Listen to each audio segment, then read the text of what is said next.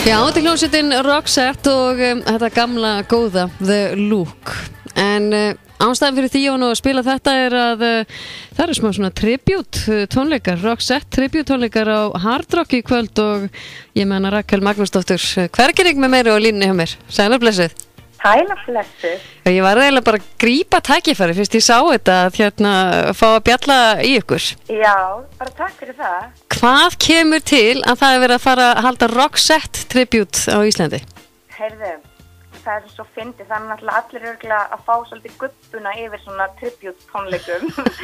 en, en það er svolítið ógeðslega skemmtilegt og hérna við eiginlega, við sýstur, eh, Hildur, harasýstur mín, og hérna, og Steppi bróðir, við vorum, Steppi var alltaf að grínast svo mikið og já, þið þurfum náttúrulega að koma og vera með comeback og þið bara syngið á hard rock og við bara svona, já, já, við gerum það og bara slóum bara svolítið að þessu. Já, hann er alltaf framkvæmdastjóri Hard Rock þannig að það fá að fylgja sögunni. Já, já, og svo hérna vorum við skaldið bara, var ég að fara á afslutíð með mikið af góðum vinnufélugum, ég er náttúrulega að vinna á heimsins besta vinnustaf þar sem maður eru bara eintómi snillingar og margir tónlistamenn. Já, rosamarki tónlistamenn.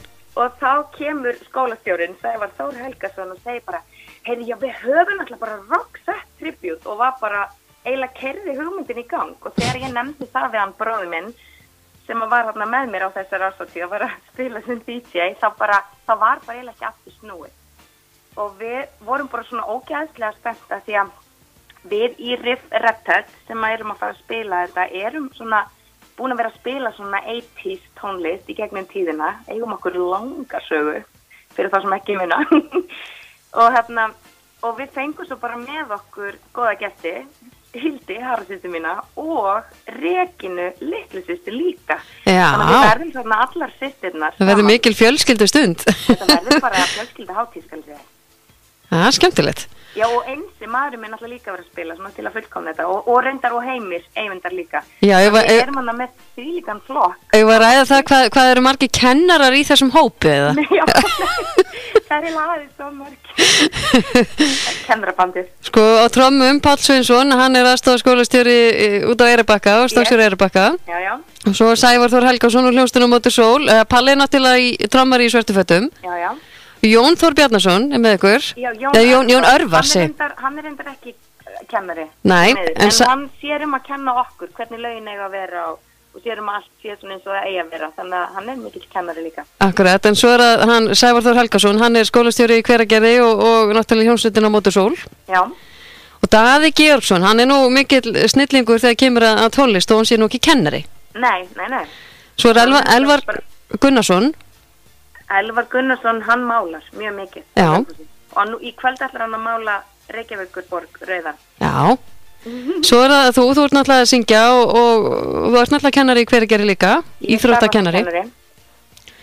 Og svo er erum við með gesta kassagítarleikara Sigurður Einar Guðjónsson og svo er hann Heimir Eyvindar sem er náttúrulega hljómbásleikari mikill og hann er náttúrulega líka starfar sem, sem kennari í grunnskólanum í hveragerði. Mikið rétt Mikið rétt. Já, og svo maðurinn líka, hann er náttúrulega líka starfandi kennari í hveragerði. hann, Nei, hann er endur ekki starfari kennari en hann er mentaður kennari en, en snýri aðeins blaðinu við eftir að hafa prófað að vera kennari í nokkur ár En sýsti þín, og, og, Hildur sýstir er sko líka kennari þá er. Hildur líka búin að menta sig sem eh, leikla, leikari, hún leiði leiklist út í London en hún er tólmættakennari eða ekki? hún er, já, þess að hún tók sérs við eh, leiklist og tónmynd, já. Já. Þannig að þetta, þetta verður skemmtilegt. þetta er, þetta er bara þvílíkt fjör og þessi tónlist, það er svo fyndið þegar við byrjum að hlusta á þetta, maður á náttúrulega pínu svona nostalgíu moment svona þegar maður fyrir að hlusta á öll þessi gömlu lög. En þetta er bara maður eiginlega var búin að gleyma hvað þessi hljómsveit á mikið af ógæðslega skemmtilegum lögum, það er bara slagara eftir slagara. Þannig að við erum bara að fara að spila algjörð svona best of. Skemmtilegt. já, En þessi ljónsett var náttúrulega líka mikið uppi með- eins og ég sagði hérna rétt á hann á þessum 80s tíma. Þetta var bara, Já. þetta var tíminn. þetta var tíminn og þetta er bara svo ótrúlega skemmtilega tími í er tónlistin og hárgriðslunar og búningarnir og allt þetta er alveg Ætli alla leið. ætli að taka þetta alla leið?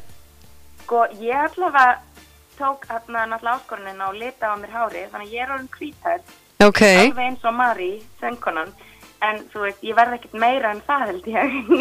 Þú, þú ert náttúrulega mjög, mjög stutt her en, en sýstur þínar verða það er, er búið að kaupa nokkra ha- sem sagt hérna hásbreybrúsa þá fyrir kvöldið eða? Heyrðu, þær sjáum það, þær eru svo agalegar alltaf í búningavælunni, þannig að Hildur er alveg, tekur náttúrulega hérna 80s lukkið alla leið, sko.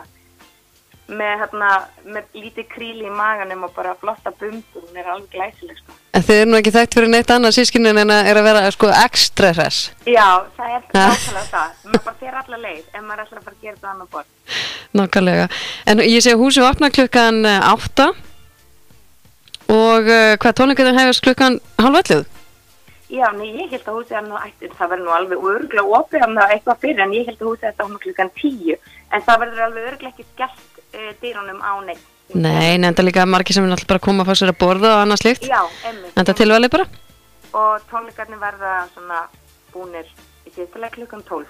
Já, Þannig að það er enginn sem að þarf að atna, missa úr vinni í fyrramáli, þó að þið koma að skelli sér á smá, smá tónleiki í kvöld. Nákvæmlega. Nákvæmlega. En Rakel, gaman að heyra í þér og góð skemmtun til ykkar í, í kvöld. Ég byrð bara að helsa öllum og ég er að spója enda þetta hérna á uh, einum slagara frá hljósutinni Roxette sem var um þetta að finna í kvikmyndinni Pretty Woman. Ekki spurning. Veist hvað, lag er að tala um? Í. Eða ekki? Jú. Æðislegt. Gaman að heyra í þér. Herri, takk fyrir og verður bara velkomin henni. Kæra takkir. Same day, Billy. Bye bye. Okay, bye.